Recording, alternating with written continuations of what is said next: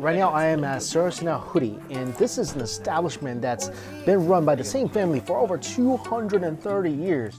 And Yoshi-san is explaining to us about the different types of soba. Apparently there's a lot of different types of soba. I've never seen this before. This is a white soba. This is made with buckwheat core. And that's what makes it look white. And these were the soba that were presented to the imperial family back in the day. Like only the upper class were able to afford this soba. And Yoshi-san's family, his family's been making soba for over 230 years. And watch him slurp. Watch the slurp right there. Mm. So you don't dip it all into the dipping sauce, which was a big mistake I used to do all the time. Just the bottom half. The texture is amazing. And this is also part of Edomae cuisine, traditional food that's been created in the Tokyo region. And this is how they would slurp because it would, be considered the elegant way of slurping and you have to slurp.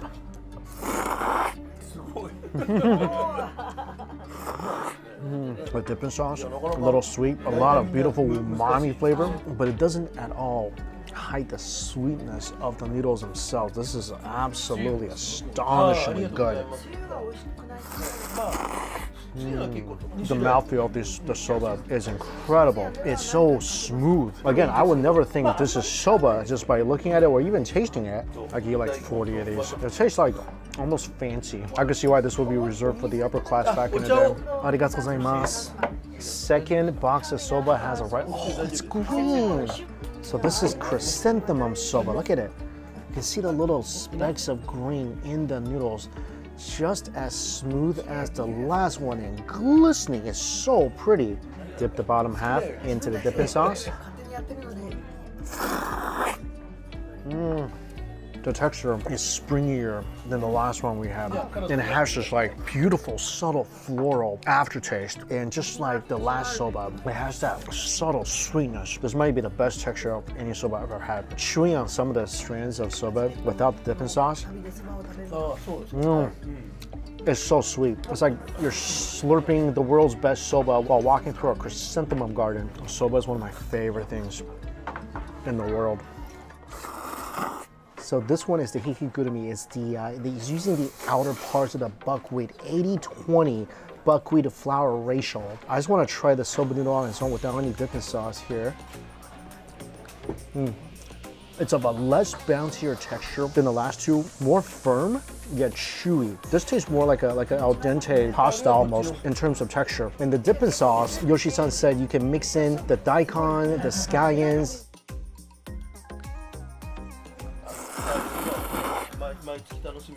Mm. It's just a different kind of delicious. This type of noodle is closer to the soba that I eat a lot of. It's really good. This is the fourth type of soba, and it is really, really thick. It looks like it's about double the size of the last soba noodle we had.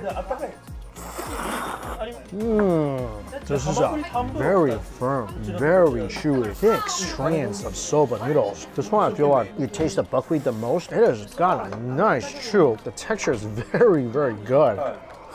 I like them.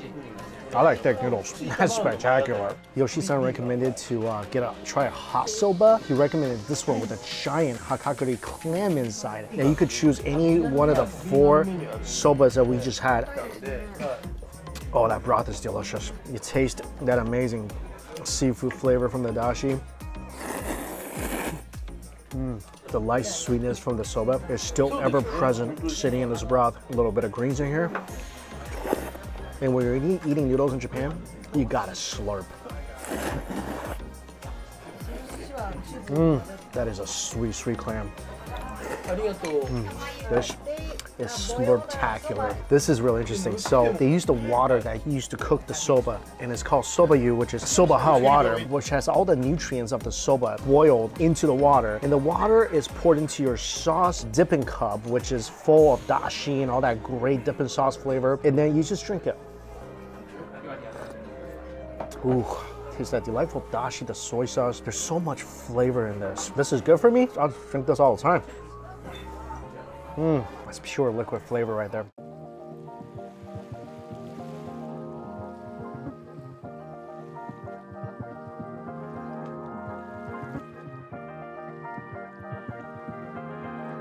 I have a little time between soba and dinner. Since it is my last day, pop into the local McDonald's and see what's new. First thing, white grape soda.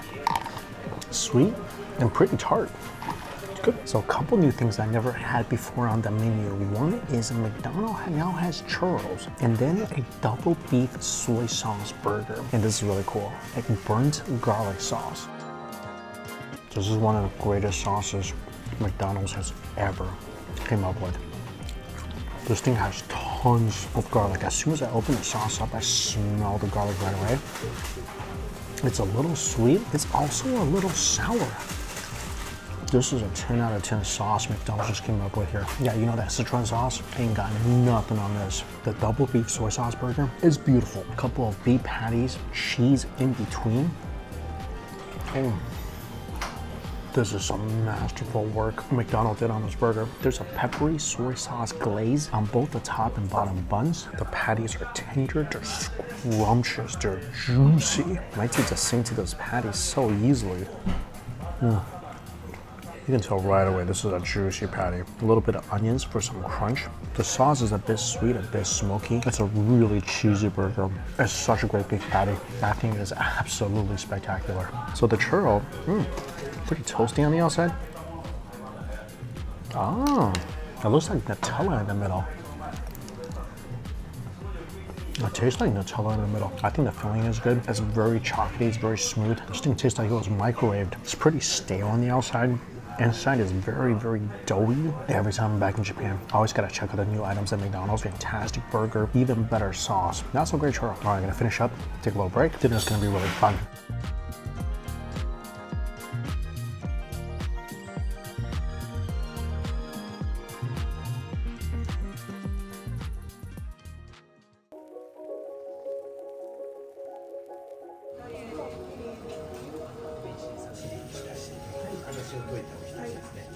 I'm here at Kappo Toyoda, and tonight's gonna be a kaiseki meal featuring both the land and the sea and everything in between. And there's two chefs working in conjunction to bring this feast. One is Toyoda-san, and Takarai-san is doing the sushi, so this is such a treat.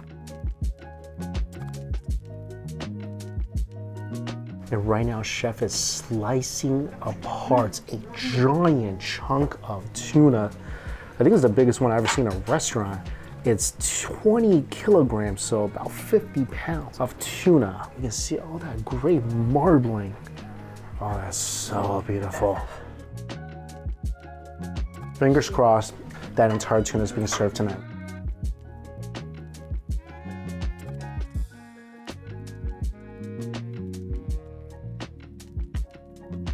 Appetizer is always going to be very seasonal, very fresh. And this is also Edomae cuisine, so it's utilizing a lot of ingredients from the Tokyo area. Since the cherry blossoms are already blooming in February, here it is. Dish number one is fugu meat and fugu skin with some nori. Wow. As soon as I put this in my mouth, you get that beautiful aroma of the nori with that delicate fugu meat, oro, a local mountain vegetable that I've been eating throughout the week. Mm. Third dish, arc shell. Mm. First of all, the cucumber is beautifully sized. Arc shell is sweet, a little snappy, with a little bit of a sweet miso sauce on top. That's so good. Next dish is bamboo clams, seaweed, and a gentle broth of dashi. The bamboo is delicate and crunchy, wonderful mild flavor with a, just a tiny hint of earthiness and nuttiness.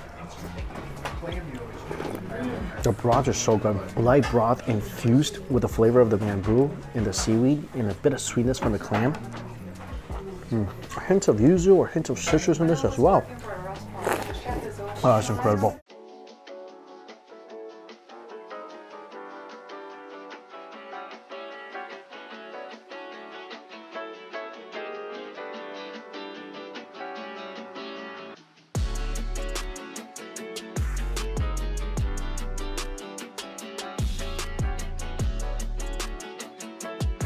sushi courses.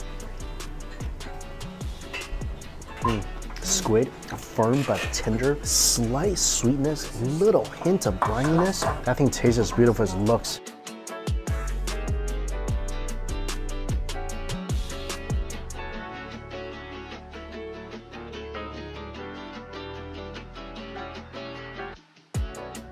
Second piece, Spanish mackerel with a little dab of salt and some citrus.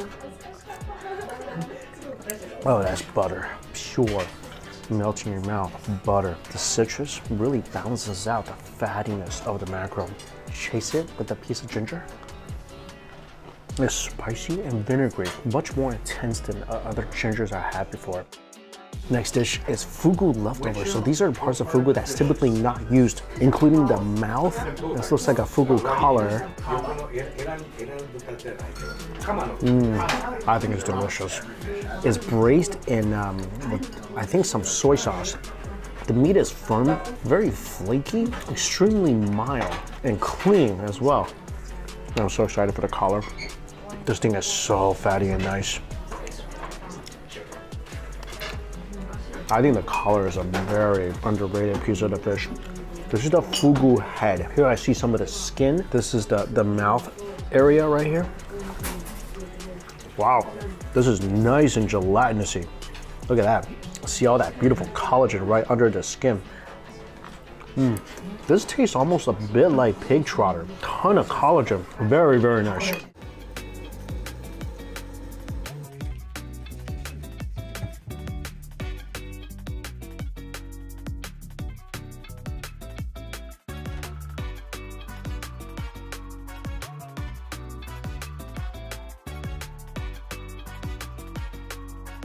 Next, switching back to sushi, seared surf clams. Mm. Sweet, really, really tender. Oh my gosh, that's so good. That's definitely different than the surf clams that I've had back in the US. You know that the red triangle thing? This ain't nothing like that. Way more delicate, way more flavorful.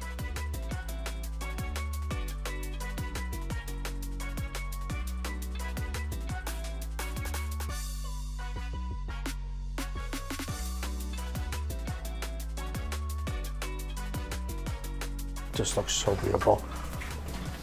Mm, that's outrageous. It's a giant prawn, freshly boiled. And then inside, they ground up ebi, which is shrimp, and stuffed it on the inside of this prawn. So this thing is just all sorts of extra sweet. This is really interesting. This is tofu without the soy, so it's something that the monks used to eat and make a lot. So it really just has milk and sesame sitting on some sweet sesame sauce. That's so creamy. It's like a creamy sesame pudding almost. The sesame flavor is really intense. That's a very good thing. Mm.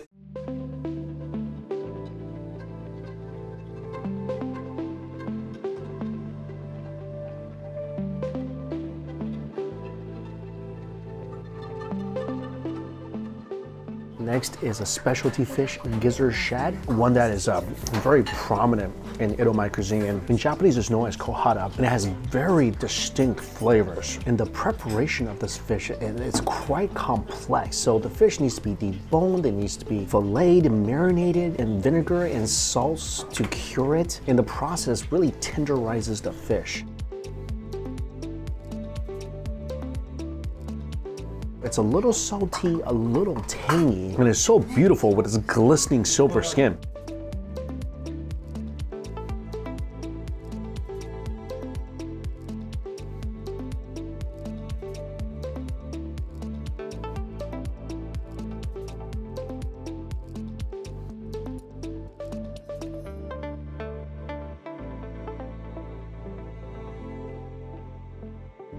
Next course, hand roll stuffed with uni and a little bit of salt drizzled on top.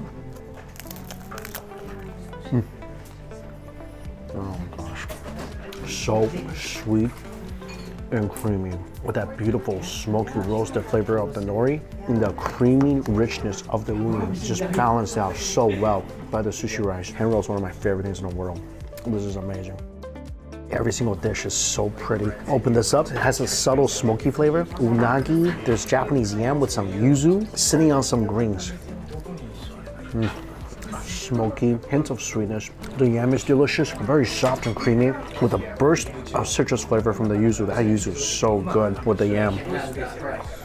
Mm, amazing.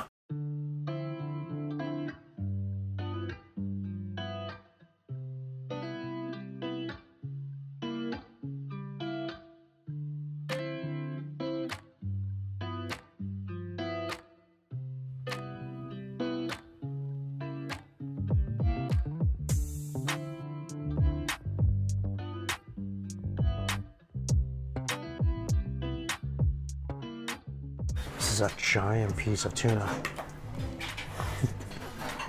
That's the leanest part, and that is just pure butter. A little salt, a little citrus, and that's of course from the giant piece of tuna. It's so beautiful, which they expertly cut up right in front of us. The way that broke down in my mouth is something that you don't really usually expect lean tuna to do. I'm still reliving that bite in my mind right now.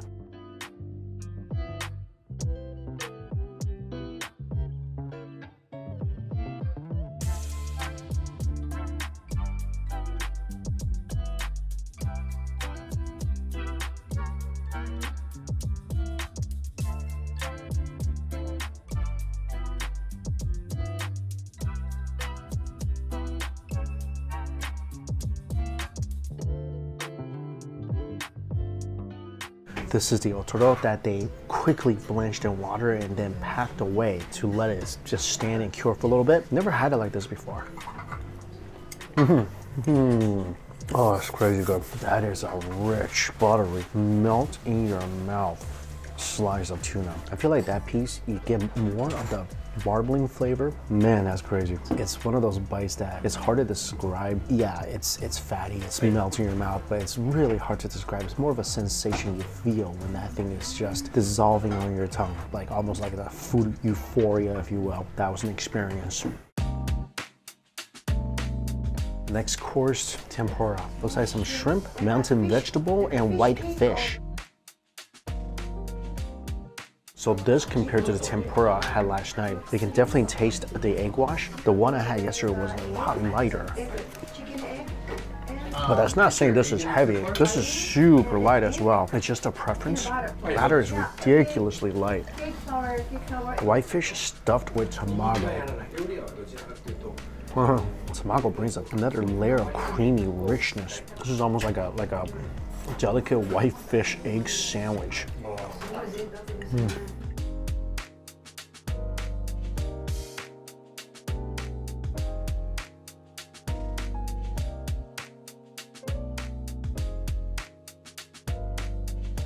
Next piece, anago, and this thing is, is pretty intense. First of all, let me let me eat it. Oh very, very soft, but the story is the sauce that's on top of the anago. So this sauce is made with sugar, soy sauce, and anago gelatin. The original sauce in the original container was made over a hundred years ago. And what they do is they keep adding to this container of sauce. They were saying um, during World War II, when they were escaping from their house, they grabbed the container of sauce. So that sauce has lived through two world wars. I mean, that's a taste of history right there. And history tastes delicious.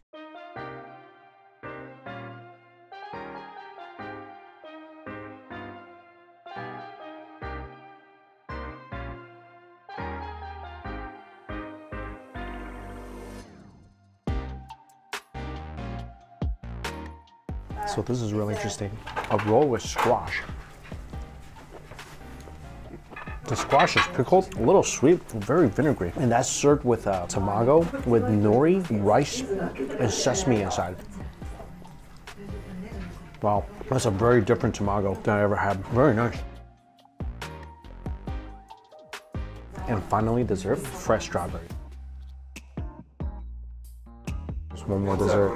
This is uh, shiro tamako, which are small, white, chewy balls. They're pretty much like mochi, but they're made from shiro tamako flour, which makes them much smoother. And they're soaked in warm red bean sauce. Wow. Yeah, this is absolutely amazing. I don't think I've actually had this before. Beautiful way to close out what has been not only just been an amazing kaiseki meal, but also this whole experience learning about Edomae cuisine, different Japanese food items like wasabi, fish cake. I feel like this trip has not only been just amazingly delicious, but so educational, so fun. I love learning about food. I love learning about the history behind food. I always said the best way to get to know a different culture is really just by taking a bite out of it. And this has just been an incredible experience for me. Being able to eat at all these establishments that has been around for over 100 years, in some cases hundreds of years. And as always, all the places I went to listed down below for you guys. Thank you all so much for watching. Until we eat again, see you later.